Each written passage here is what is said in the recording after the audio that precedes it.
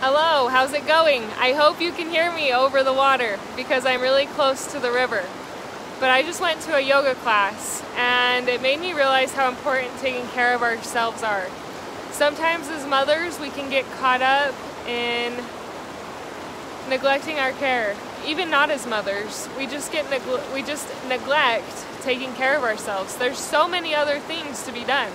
And we forget to do the things to take care of us and to take care of our body. I'm sure as I've been talking, there's been one thing that's popped into your mind that you think would be nice to, to do to take care of yourself. And I want to encourage you to do it. Do that one thing that popped into your mind for self care.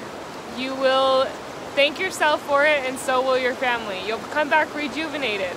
Maybe it's to get out in nature. Maybe it's to take a yoga class. Maybe it's to go for a drive. Maybe it's to write in your journal or read a book. What have you, do something to take care of yourself.